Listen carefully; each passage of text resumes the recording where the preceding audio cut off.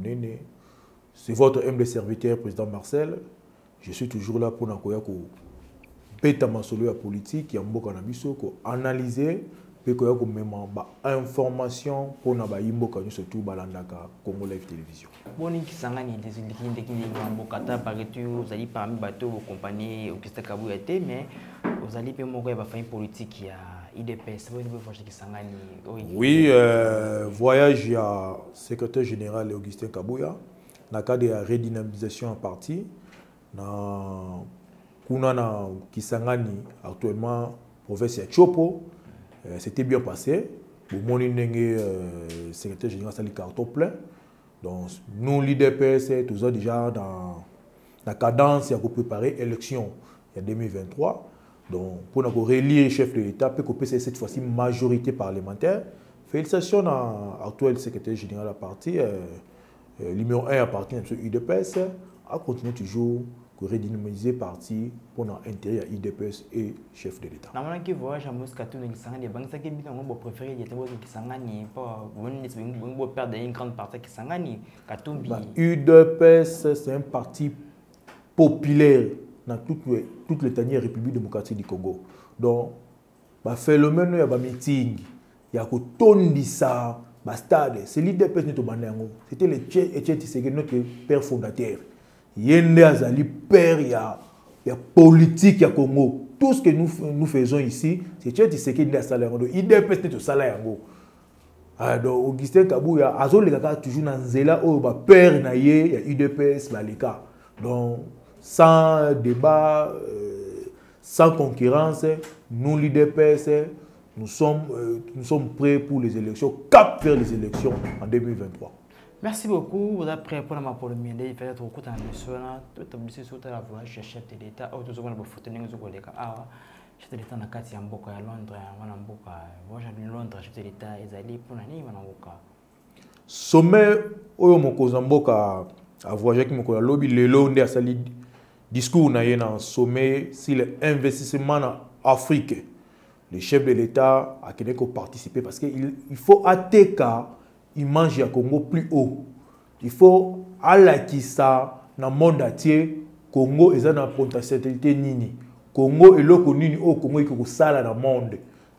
lokola ezalaki cadre moko approprie mpo na kosolela makambo etali investissement na afrique nde mokonzi ya mboka adeplasaki mais oyo eloko ya koretenir ezali nini discours oyo chef de l'état asali na kati ya sommet wana ezali toujours badiscours na ye ezali badiscours moko boye eza kopesa esengo na bacongolais mpe eza koningisa monde mokonzi ya mboka adeklare lelo na sommet wana na kati ya grande bretagne na mboka londres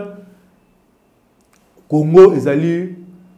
cadre moko approprié ya koinvestir donc lelo oyo congo mpona koinvestir donc mboka oyo eleki congo mpona koinvestir actuellement eza te donc azobengisa bainvestisseur nyonso tu baya na congo baya koinvestir parce que congo tozali na richesse oyo nzambe apesa biso esengeli bandeko oyo toza na bango na na mokili baya ko resourcer baya ko, ko investir awa mpo na développement monde ça c'est un de deux mokonzi ya mboka adeklare par rapport ya question oyo batuni ye concernant babloc pétrolier na biso yango nde ezopesa lelo e, e, eningisi monde entier le chef de l'état alobi tout oyo na tribune ya sommet oyo ya investissement en afrique rdc akoexploite bapétrole na ye nous avons bamécanisme oyo tokotya en place bamécanisme oyo tokotya en place pour que non humanité ezala dérange te donc parlant le chef de l'état aza toujours na position oyo ayebisaki le secrétaire euh, envoyé ya président américain l'ancien secrétaire d'état john kerry félicitations na mokonzi ya mboka merci soki mpe aplangi plan esi kotala mpe ka na somi wana likambo asi kosenga na euh, na communauté internationale bayeba kosenga na rwanda ayeba ndenge ya kosese kosuteni toujours ba 23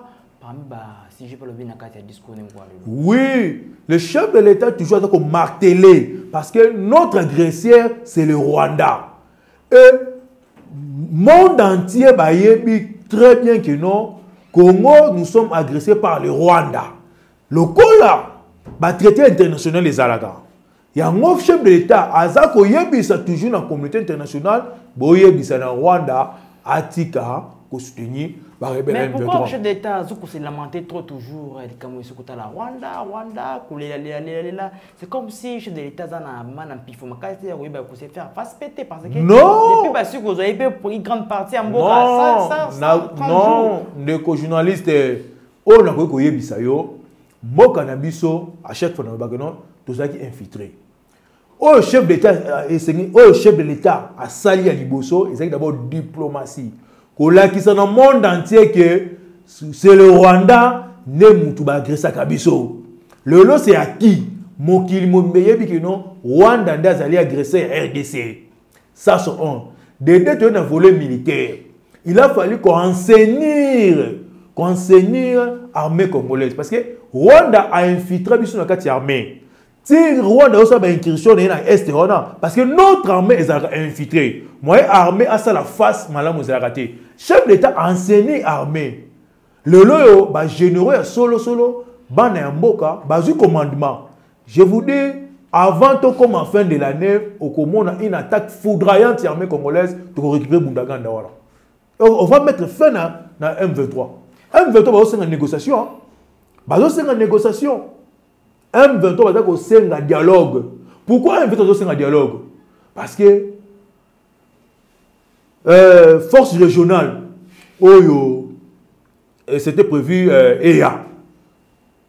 ntango force régionale wana ekoya mission principale ekozala yango nini proche régional oyo biso moko na armée toza 11e na afrique proche régional baa ba 19e ba 20e non là c'est pour tobetela yango ntolo là c'est pour euh, euh, c'est pour l'organisation oyo ya biso ya ya afrique de l'est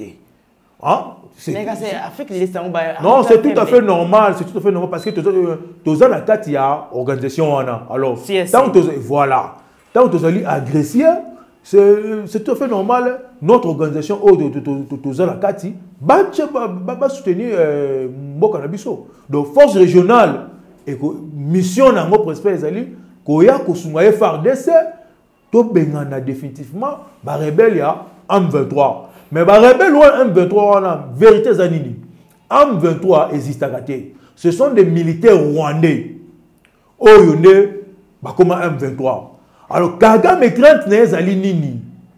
ntango amoni commandement ya FRDC changer maintenant sikoyo FRDC tozokende maintenant na attaque moko foudroyante mpona kobengana bango Rwanda akomi autiliser barebele wana M23 wana mpona kosenga dialogue ntango FRDC akofrappe bamite oyo bakokufa ce sont des mite rwandais ce sont des mite rwandais nde bakokufa Merci beaucoup, je suis des militaires rwandais, bakokufa wana mboka, nomination lisusu kosalama mpe a ordonnance précise maki par rapport ya keke généraux, lisusu tomoni komona na commandement tosi komona général eh, général Marcel Kimbangu, oyo asoki kozala tête ya commandant ya troupe na kati ya fardc mwana mboka boye soki mwana nyonso na mwana mboka mwana mboka général euh, john chibango oui euh, c'est ça makambo nayoki koyebi biso sikoyo no chef de l'état aza koenseigne armée parce que armée na biso eki infiltré armée na biso ezalaki pourri nakoyebisa yo le général christian chiwewe auti kosala barévélation dès que azui prise de, euh, de fonction na ye na état major azui bacoup d'appel ya certains généraux oyo baza koye baza kointerdire ye ke ndenge oye wana dossier ya este kokipe yango te général eh, christian chiwewe mm. l'actuel chef d'état major mm. azwi bacoup d'appel Il y a certains généraux na mboka na biso que ndenge okoti wana makambo ya este kotya motu kuna te ndenge ekoti wana ya 530 officier étranger na kati ya armée na biso 125 généraux etranger rwandais na kati armee koderange bango te donc par là naza koyeba biso ndeko journaliste allez-y comprendre lolenge nini armée na biso ezalaki infiltré donc armée ya bongo ekoki kosala eloko te mais équipe oyo ya commandement eye ce sont des congolais de père et de mère bazali bana ya congo bakodefendre le général euh, euh, john chibangu lelo azali nommé c'est un soldat oyo na époque ya régime ya ndeko kabila azali le seul soldat oyo aozaki temps mpo na kotelemela ndeko kabila bazongisi ye maintenant na 21e régiment militaire ya kasai parce que ntango atelemaki ndeko kabila ezali kaka na 21e, 21e eh, régiment wana la place atelemaki ndeko kabila parce que oyo oh, batiaki comme titulaire na ntete na ye azalaki rwandais atelemaki kabila na complot oyo mpo na kocreye lelo oyo kocreye bamassacre na kasai toviva ba biloko ya oyo elekaki awa ya kamona nsapu ezalaki deja babiloko moko prépare john chibango abelelaka yango déjà bien avant lelo azongi kuna donc euh, peuple kasayen baza sécurisé le général marcel euh, bangu, bangu. ye nde sikoyo awuti sikoyo na 21e régiment wana batindi ye sikoyo na est na troisième commandement donc na troisième zone de défense troisième zone de défense ezali zone euh, ezali commandement moko stratégique parce que yango eza kocouvrir est mobimba place infiltré oyo euh, ya euh, filemon ye azalaki nakosala révélation moko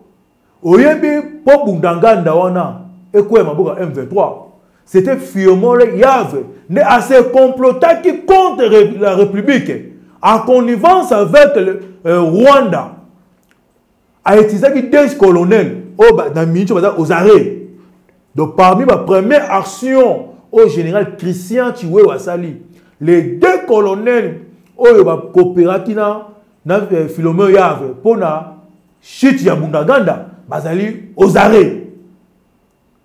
bango nde basali keno bundaganda ekweya maintenant commandement echange donc toza koespere bientôt la kimia ekokota na est parce que bana mboka solo bakoti merci beaucoup mwana mboka marseille tobluki lisusu kotala sécurité ya kati ya république kati congo tobeta lisusu kotala consultation ya mwana mboka santar ami joseph kabila soki kosala consultation na kati ya province ya katanga kuna na fief na ye oyo bayimboka balusu balobaka azali nde base na ye kokutana bayimboka fani politiki nde mpo koyeba ndenge nini ya kosala kopropare 2023 boyo molisi komona kozotamona mokolo joseph kabila je vous dis ndeko journaliste monsieur kabila alias hippolyte kanambe ye nde azali malheur ya peuple congolais donc parce que soki ngai azalaki na face ya faci ya mais nakanga déjà mese kabila il faut akende prison il a détruit le pays il continue encore ya se comploter contre la république oyo kabila azosalela kuna na kashamanta ezali complot contre la république premièrement aza sénateur à vie un sénateur à vie atikali sénateur à vie do ye ndenge aza boye akoki kozwa lisusu mandat électif mosusu te constitution eza koempêche ye azonga lisusu na, euh, na, na challenge électoral mais oyo aza kosala kuna eza complot aza azwi ba moïse katumbi azwi ba matata mponyo azwi ba vital kamere aza koconsulte bango akatimini pour que no bacreye trouble na 2023 aza koprépare élection te aza koprépare nde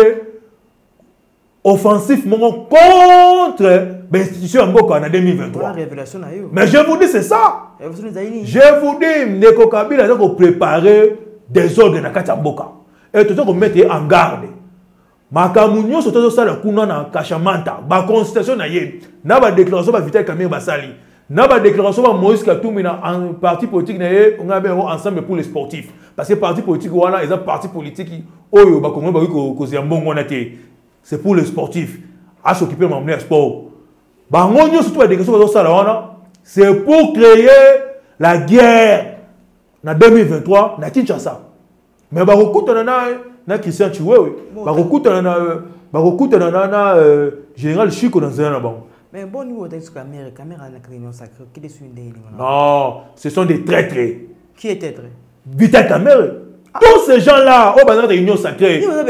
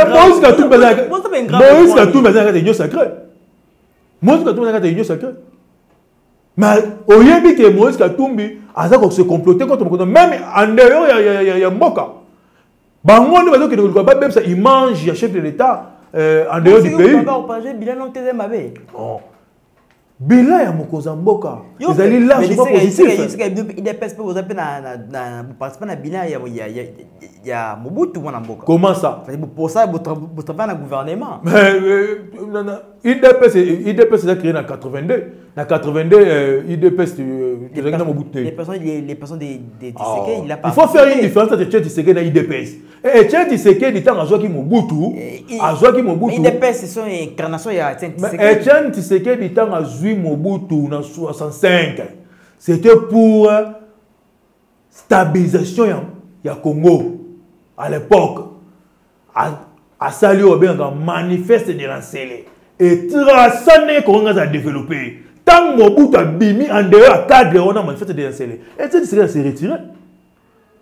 tala départ etieti sekete ntango akite mobutu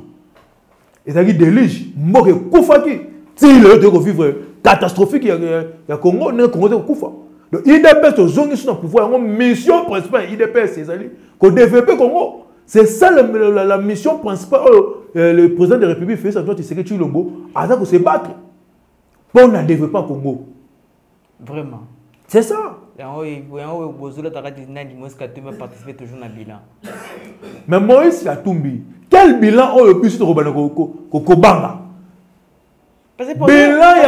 bilan ya mokonzi ya mboka ezali largement positif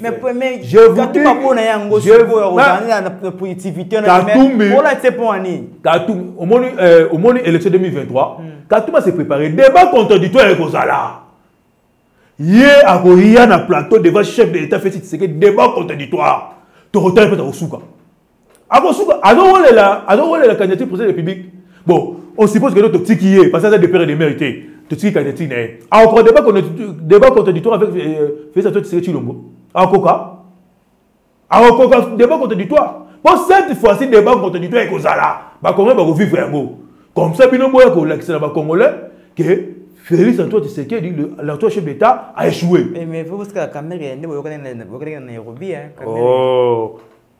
mais tokangi ye mpe ta soki biso régime na biso idps tozalaki moto yambe na kamere mais anga coupire na makala mais lelo oyo na niveau ya justice congolaise anga azala lave te balave na justice azali congolais soki alingi akende ba élection ase prépare na challenge électoral ase prépare à se préparer comment comment pourquoi bazo luka toujours qu'on s'accrocher na ba accord ya Nairobi bako s'accrocher pourquoi peuple oyo congolais aza na besoin ya mokonzi ya mboka asala mosala zela ya pouvoir kanu lide mpe tobandaki nani ya combat politique vita kamera azalaki Peter Kamina azali frère ya ndeko Joseph Kabila. Bango tout ba Moïse Katumbi.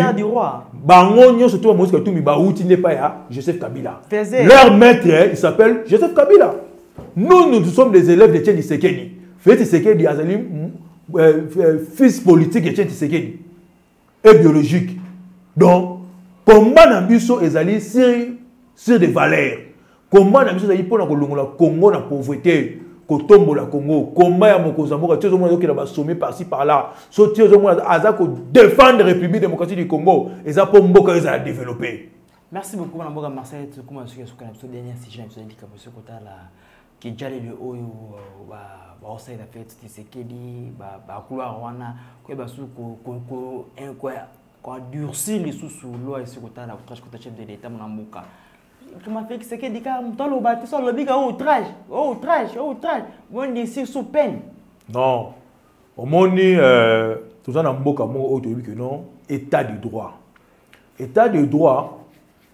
ezali liberté ya ba eh, respect ya ba principe na mboka na biso a ah, toza korespecte sur baprincipe legal te un chef de l'état mokonzi ya mboka oyo azali sacré na pouvoir ne kabila azalaki sacré na pouvoir oui okoki kokritike ye mais okoki kofinga ko ye te bainjure à le regarde ya mokonzi ya mboka ekoki kozala te ofinga kabila ba je vous dis ndeko na ngai tofinga kabila tofinga tofi biso to critika kabila temi ne vali bonga na yo temi kabila assassin ah, kabila solo ba image wana ezali eh? ba meso pe ya justice temi ne bonga na lemba te wana tozali na jungle na temi seki bala tozali na jungle te ah, tozali na jungle mais kabila azali jungle mboka ezalaki sans mibeko kabila azali mpe na démocratie nayebi so jungle kabila papa démocratie ya solo nayebi kabila toki na jungle awa na congo toki na jungle toyaki pays sans loi maintenant sikoyo idps mm. tolita tolita mpo na bonne gouvernance tolita mpo na état de droit maintenant sikoyo mboka ezongi na rai tobimi na zamba tozongi sikoyo na nzela alors respect ya mibeko il faut ozala mokonzi nalandaki interview ya marie de pen marie de pen aza opposante ya makasi ya macron mais asala déclaration moko aloba tokoki kokritike président macron mais il reste notre président tokoki kosimba ye tokoki koinjrie ye te tokoki kosimba koetale vie privé na ye te parce que c'est notre président et c'est l'image de la france felix tshisekedi aza maintenant apporte image ya congo yo olalika na ndako na olamuki na pongi moko boye soki omeli nini yango oyemba yango na etando moke obandi kofinga mokonzi mwa tala ndenge mama oyo soki ye marie tala ndenge asimbaki personnalité ya mwasi ya mokonzi ya mboka tala ndenge baoyo euh, monsieur nani journaliste oyo pierrot tala ndenge asimba personnalité mokonzi ya mboka tu trouves ça normal dans un pays de, euh, démocratique Merci beaucoup. Non, moi je soutiens euh, la procureure de la République. Hein. Là, ton zomba ya sima de ce côté la kaka dossier ce côté la kaka euh, mibeko ce masika pona ko endurcir euh, euh, dossier soki otala peine ya outrage conscient de l'état c'est pas okela parlement tokoki bakocommenter na yo à la prochaine dossier soki otala na mwana mboka marseille liloba soki ozali libeba talo partout na monde entier oui liloba soki ezali toujours euh, bacongolais tozala unis derrière le chef de l'état euh, tosoutenir mokonzi ya mboka parce que ye nde azali solution ya congo aza na vision moko claire mpona développement mpe mbongwana ya congo